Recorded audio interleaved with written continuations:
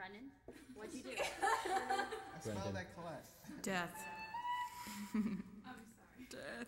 Don't look at me. See, when you laugh, Let's make her it walls bigger. doesn't have to be breathing, so just keep going.